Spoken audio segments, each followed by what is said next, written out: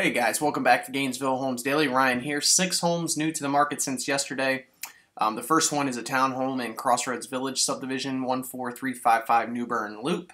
Sold a couple over here actually. This one's uh, priced at 304999 Three bedrooms, two and a half baths, almost 2,000 total square feet. It's got um, three level bump out, so you're getting the added square footage built in 2001. Uh, vinyl siding with a one car garage you can see here from the picture. Looks like um, some ceramic tile when you walk in in the entryway there. And it looks like throughout the lower level rec room area with a gas fireplace. See upstairs looks like we got hardwood. There's the deck out back. Kitchen with white cabinetry, white appliances, and I can't tell if that's Formica countertops. It looks like it's just Formica countertop. Doesn't look like it's granite. Uh, but nice hardwood floors throughout that main level. Good space, nice open floor plan. Here's the bedrooms. You know, this price for this one might be a touch high, um, well, mainly because it's a little bit older built in 2001, um, right at the 2,000 square foot. I mean, many of the homes are pushing up to the 300 level, um, but in this in this subdivision, there's a lot of lower price townhomes as well. So 304, I think, is definitely pushing the top end of the range for that subdivision. 14970 Largo Vista Drive. This is an Edge Hill detached contemporary home on 10 acres. Three bedrooms, two and a half baths, 2,600 square feet on two levels. Uh, 479 900 Obviously, they're pricing a lot of value or pricing it because of they're, they're valuing the land. Um, I would imagine at uh, you know quite a bit here. It looks like. Let me see here. Looks like that this must be um, the view of the lake that's over there. Um, and I don't know, it doesn't say in the listing if it's right there, but I'm assuming it must be right on the property. Hardwood floors in the interior. There's the kitchen. So kitchen probably needs to be updated a little bit. Looks like it's original from when it was built in 85. It does say, let's see, in here, passive solar, um, geothermal. Uh, so this home is green for those of you looking to go green. Uh, you know, I'm going to say this this home is definitely unique. It's going to take the right type of buyer, and there's definitely some some you know probably updating and renovations that are necessary on this one. Uh, Ten acres, obviously hard to come by, um, but you know re realize that you are going to have quite a bit uh, of other things that you're going to have to do on the inside here. So price point is okay. I'm not thrilled, but those looking for 10 acres, um, it's a decent option, especially for you to be able to go in and make it your own. 7732 Vinewood Court in Virginia Oaks, 475,000 detached colonial, four bedrooms, two and a half baths, just under, uh, let's see, 0.188 of an acre, 2,654 square feet, partially finished basement. Um, it's in the golf course community, obviously with Virginia Oaks, and it's located at the end of the cul-de-sac here.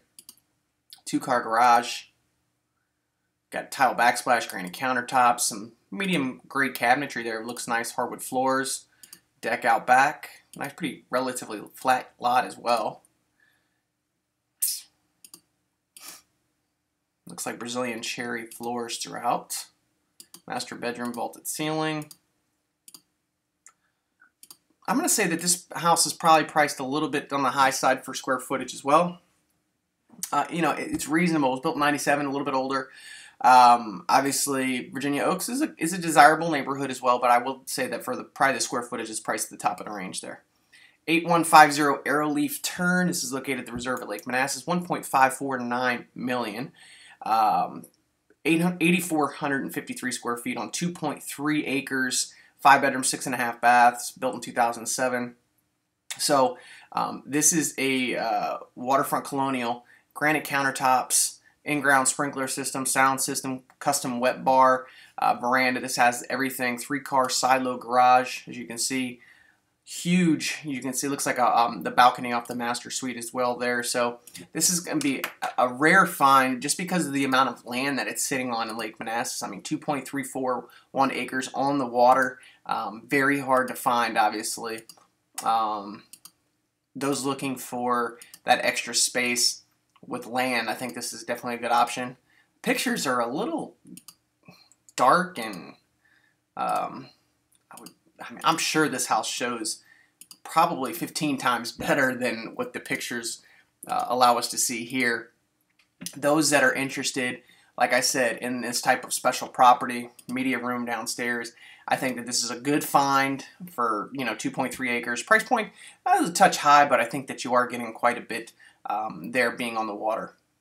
7734 Yalta Way, Hopewell's Landing, just over a quarter acre lot, five bedrooms, three and a half baths, 500,000, 3,370 square feet, 2,500 square feet above grade. Pretty standard colonial, not many pictures to look at here. Um, it was built in 2009. The price point is pretty much in line with many of the others in that subdivision. And then the last one is 8217 Bearhurst Drive in Saranac, which is located along the Lake Manassas Community two-car side load garage, 799,999. This is an arts and crafts style home, as you can see here from the front on a half acre, just over half acre, five bedrooms, four baths, two half baths. Um, this is a, a Griffin model, um, and it looks like this is, I can't tell if this is to be built or if it's already built. Let me see here. It looks like it is ready for delivery because it doesn't say anything about being built in the future. So it looks like this one has been finished with a lower level rec, rec room, huge center island there in the kitchen.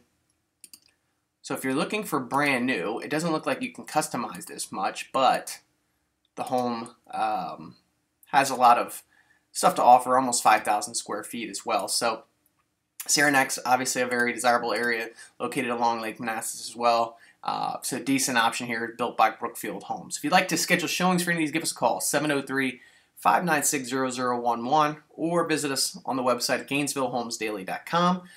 Hope everybody's having a good week. We'll be back with you tomorrow.